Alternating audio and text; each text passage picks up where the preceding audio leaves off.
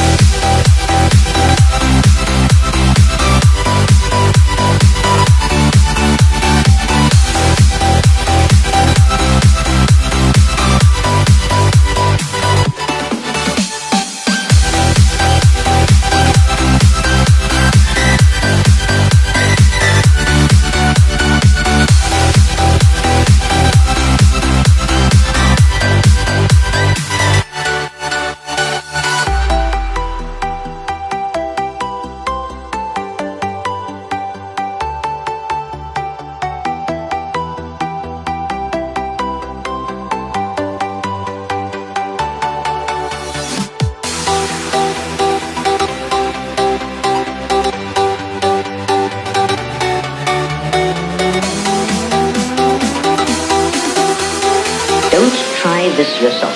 It's extremely dangerous.